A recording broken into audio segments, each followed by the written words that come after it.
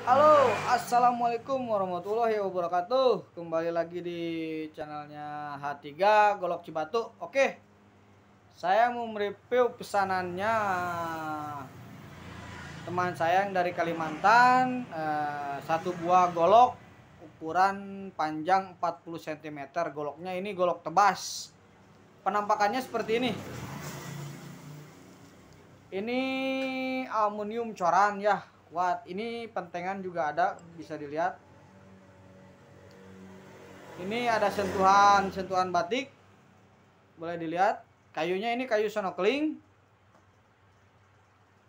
Udah mantap sekali. Ini bilanya seperti ini ya. Ini bila seperti ini.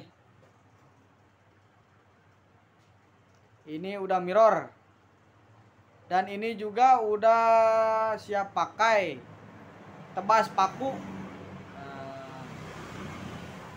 untuk pengiriman insya Allah hari ini.